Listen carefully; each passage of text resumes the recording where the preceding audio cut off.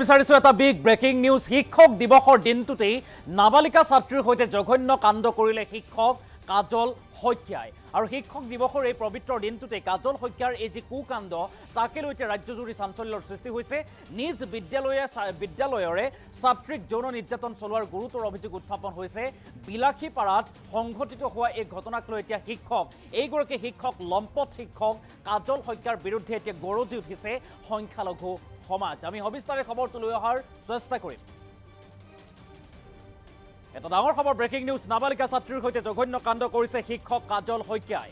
শিক্ষক দিৱসৰ দিনটোতেই এই পবিত্ৰ দিনটোতেই কুকাণ্ড এগৰাকী শিক্ষকৰ। শিক্ষক দিৱসৰ দিনাই কাজল শইকীয়াই সংঘটিত কৰিলে ছাত্ৰীৰ সৈতে কুকাণ্ড। আৰু নিজ বিদ্যালয়ৰে এগৰাকী ছাত্ৰীৰ সৈতে যৌন নিৰ্যাতন চলোৱাৰ গুৰুতৰ অভিযোগ উত্থাপন হৈছে শিক্ষক কাজল শইকীয়াৰ বিৰুদ্ধে।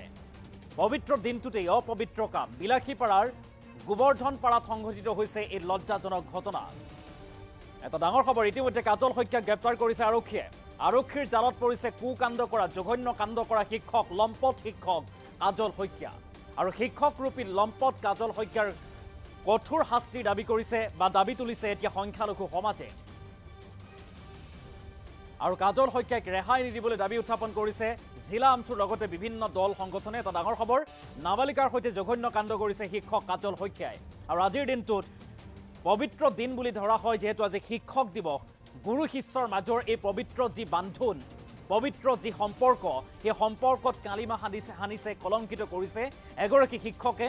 আৰু শিক্ষকগৰাকীৰ নাম হৈছে কাজল শইকীয়া। আৰু এই কাজল শইকীয়াই এগৰাকী নাবালিকা ছাত্ৰীৰ সৈতে জঘন্য কাণ্ড কৰিছে। আমি দৃশ্যাংশ দেখুৱাম। লম্পট শিক্ষকজনৰ দৃশ্যাংশ দেখুৱাইছোঁ। এইগৰাকী হৈছে লম্পট শিক্ষক কাজল শইকীয়া। আৰু কাজল শইকীয়াই নিজ বিদ্যালয়ৰে এগৰাকী ছাত্ৰীৰ সৈতে জঘন্য কাণ্ড কৰিছে। আৰু এই সমগ্ৰ ঘটনাক লৈ এতিয়া গৰজি উঠিছে সংখ্যালঘু সমাজ দল সংগঠন আমচুৱে। আমচুৱে কৈছে এইগৰাকী লম্পট শিক্ষকে যাতে কোনোপধ্যেই ৰেহাই নাপায় কঠোৰৰ পৰা কঠোৰ শাস্তি যাতে এইগৰাকী লম্পট শিক্ষকৰ বিৰুদ্ধে গ্ৰহণ কৰে তাৰ দাবী কৰা পৰিলক্ষিত হৈছে। নিজ বিদ্যালয়ৰে এগৰাকী ছাত্ৰীৰ সৈতে যৌন নিৰ্যাতন এইগৰাকী লম্পট শিক্ষক কাজল শইকীয়াৰ। আপুনি কমেণ্ট কৰি জনাব পাৰে কাজল শইকীয়াৰ কেনে শাস্তি হোৱা উচিত? আজি যিহেতু পবিত্ৰ দিন শিক্ষক দিৱস আৰু শিক্ষক দিৱসৰ দিনটোত গুৰু শিষ্যৰ মাজত এক পবিত্ৰ সম্পৰ্ক গঢ় লৈ উঠে গুৰু শিষ্যৰ যি পৰম্পৰা সেয়া অটুট ৰখা দেখিবলৈ পোৱা যায়। শিষ্যই গুৰুৰ চৰণ চুই আশীৰ্বাদ লয় আজিৰ দিনটোত। অতিকে পবিত্ৰ দিন হিচাপে ধৰা হয়। আৰু এই পবিত্ৰ দিনটোতে এইগৰাকী শিক্ষক লম্পট শিক্ষক কাজল শইকীয়াই কৰিছে কলংকিত কাণ্ড য'ত কুকাণ্ড কৰিছে জঘন্য কাণ্ড এগৰাকী নাবালিকা ছাত্ৰীৰ সৈতে। নিজ বিদ্যালয়ৰে এগৰাকী ছাত্ৰীৰ সৈতে শিক্ষক ৰূপী এইগৰাকী লম্পট কাজল শইকীয়াই কৰিলে জঘন্য ঘটনা। আৰু সমগ্ৰ ঘটনাক লৈ এতিয়া চাঞ্চল্যৰ সৃষ্টি হোৱা পৰিলক্ষিত হৈছে। বিভিন্নজনে বিভিন্ন প্ৰতিক্ৰিয়া ব্যক্ত কৰিছে দল সংগঠনে প্ৰতিক্ৰিয়া ব্যক্ত কৰিছে আমচু সৰব হৈছে গৰজি উঠিছে সংখ্যালঘু সমাজ কৈছে। এইগৰাকী লম্পট শিক্ষক কাজল শইকীয়াৰ বিৰুদ্ধে কঠোৰৰ পৰা কঠোৰ ব্যৱস্থা যাতে গ্ৰহণ কৰে আৰু তাৰ দাবী উত্থাপন কৰি এতিয়া হুংকাৰ দিয়া পৰিলক্ষিত হৈছে আমচুৱে মন্তব্য আছে এইগৰাকী লম্পট শিক্ষক লগতে এই সমগ্ৰ কাণ্ডক লৈ বিলাসীপাৰাত হোৱা সংঘটিত হোৱা এই কাণ্ডক লৈ আমচুৱে কি কৈছে আমি সেই মন্তব্য আগবঢ়াইছোঁ। শিক্ষক দিৱসৰ দিনাই যি এক ঘটনা সংঘটিত হ'ল নাবালিকা এগৰাকী ছাত্ৰীৰ ওপৰত শিক্ষক কাজল শইকীয়া নামৰ শিক্ষক এজনে যি যৌন নিৰ্যাতন চলালে এয়া সঁচাকৈয়ে গৰিহণাৰ যোগ্য। আমি সদৌ অসম সংখ্যালঘু ছাত্ৰী ইউনিয়নে দাবী জনাইছোঁ যে শিক্ষকজনৰ আইনীভাৱে শাস্তি দিব লাগে আৰু ফাষ্ট ট্ৰেক কোৰ্টৰ অধীনত আনি দ্ৰুততম শাস্তিৰ ব্যৱস্থা কৰিব লাগে আৰু বিৰাচীপাৰাৰ এই শাস্তি গোটেই অসমত এক উদাহৰণ হৈ থাকিব লাগে। যি লজ্জানত ঘটনা সংঘটিত কৰিলে মানৱৰূপী দানৱৰূপী শিক্ষক এজন কাজল শইকীয়া নামৰ শিক্ষকজনে যি নাবালিকা ছাত্ৰীৰ ওপৰত নিৰ্যাতন চলালে সেই নিৰ্যাতনৰ খবৰ পাই ধুবুৰী আৰক্ষীকৰ তৎপৰতাত গ্ৰেপ্তাৰ কৰে। গ্ৰেপ্তাৰ কৰাৰ পিছতো আমি সদৌ অসম সংখ্যালঘু ছাত্ৰ ইউনিয়ন আমচু বিলাচীপাৰা জিলা সমিতি জিলা সমিতিয়ে দাবী উত্থাপন কৰিছোঁ যে তেওঁ যাতে আইনৰ কোনো সুৰংগা দি বাচি যাব নোৱাৰে আৰু এনেকুৱা দৃষ্টান্তমূলক শাস্তি প্ৰদান কৰিব লাগে যাতে গোটেই অসম তথা ভাৰতবৰ্ষত এনেকুৱা কাণ্ড দ্বিতীয়বাৰ সংঘটিত হোৱাত বাধা বাধা হ'ব হৈ পৰে। গতিকে এই নাবালিকা ছাত্ৰীজনে ন্যায় পাবৰ বাবে সদৌ অসম সংখ্যালঘে বিলাসীবাৰ জিলা সমিতি আমচুৱে যিকোনো গণতান্ত্ৰিক পথ হাতত ল'বলৈ আমি বাধ্য। শিক্ষক দিৱসৰ দিনাই যি এক ঘটনা সংঘটিত হ'ল। নাবালিকা এগৰাকী ছাত্ৰীৰ ওপৰত শিক্ষক কাজল শইকীয়া নামৰ শিক্ষক এজনে যি যৌন নিৰ্যাতন চলালে এয়া সঁচাকৈয়ে গৰিহণাৰ যোগ্য। আমি সদৌ অসম সংখ্যালঘু ছাত্ৰ ইউনিয়নে দাবী জনাইছোঁ যে ই শিক্ষকজনৰ আইনীভাৱে শাস্তি দিব লাগে আৰু ফাষ্ট ট্ৰেক কোৰ্টৰ অধীনত আনি দ্ৰুততম শাস্তিৰ ব্যৱস্থা কৰিব লাগে আৰু বিৰাচীপাৰাৰ এই শাস্তি গোটেই অসমত এক উদাহৰণ হৈ থাকিব লাগে। যি লজ্জানত ঘটনা সংঘটিত কৰিলে মানৱ ৰূপী দানৱ ৰূপী শিক্ষক এজন কাজল শইকীয়া নামৰ শিক্ষকজনে যি নাবালিকা ছাত্ৰীৰ ওপৰত নিৰ্যাতন চলালে সেই নিৰ্যাতনৰ খবৰ পাই ধুবুৰী আৰক্ষীকৰ তৎপৰতাত গ্ৰেপ্তাৰ কৰে। গ্ৰেপ্তাৰ কৰাৰ পিছতো আমি সদৌ অসম সংখ্যালঘু ছাত্ৰ ইউনিয়ন আমচু বিলাচীবাৰ জিলা সমিতি জিলা সমিতিয়ে দাবী উত্থাপন কৰিছোঁ যে তেওঁ যাতে আইনৰ কোনো সুৰংগা দি বাচি যাব নোৱাৰে আৰু এনেকুৱা দৃষ্টান্তমূলক শাস্তি প্ৰদান কৰিব লাগে যাতে গোটেই অসম তথা ভাৰতবৰ্ষত এনেকুৱা কাণ্ড দ্বিতীয়বাৰ সংঘটিত হোৱাত বাধা বাধা হ'ব হৈ পৰে।